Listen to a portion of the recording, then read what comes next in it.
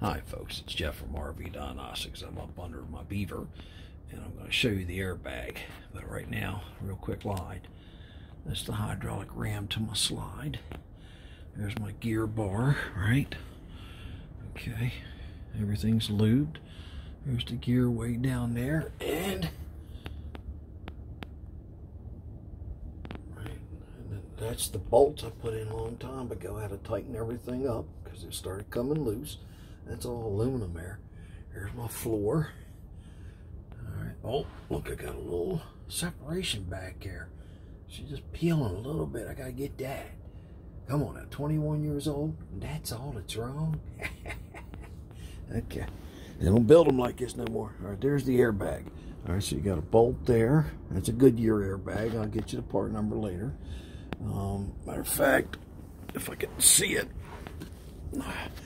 hold on.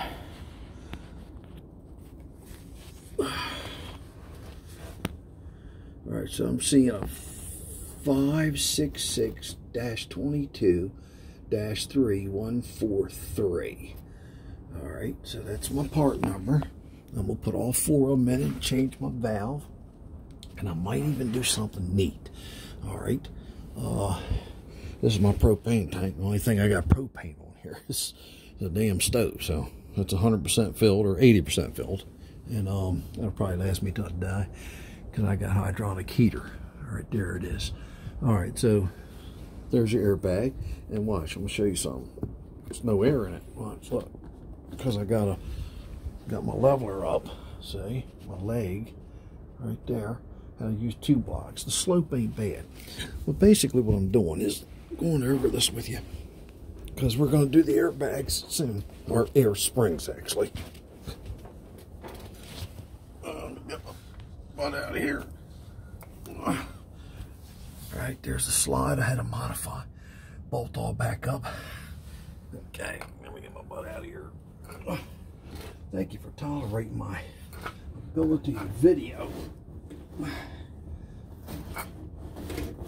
damn it. Alright, I cussed it. 60. Yeah, there's my back. It feels good. Alright. Alright, remember I did another video where I did the brakes, rotors, calipers, all that. You always check your gas tank straps. Sometimes they break. There's another bushing. Probably change all them out. The guy, not next door to me, but two stores down from me, does a lot of heavy suspension work on diesel trucks. So I'll be using his tools. All right, so there's the other gear I told you about. And the slide's in pretty good shape. Um, this is 1999. Just want to show you airbag. There's four of them on the front axle. Okay, let me turn it around. All right, uh, eventually I'll be making another video continuation of this. Thank you very much for tolerating me. I'm on vacation, mini vacation, taking it easy. And this is how I take it easy. My wife accepts me. Um, I just had a new member on the website. He had a um, 5 point or 3.2K generator 2018 diesel. And um, we had to get him running up again. So that was pretty interesting. Like hour worth of talking on the phone and trading pictures and it was good. Got them up. So remember there's a youtube channel rv diagnostics give me a up. A thank you and notes. Leave me messages. I'll answer them also there's the facebook page rv diagnostics and troubleshooting. There's the garage in seaford delaware 19973 uh, how you get a hold of me there if you're coming through? Two ways. One you can email me jeff at rvdiagnostics com. That was a tough one.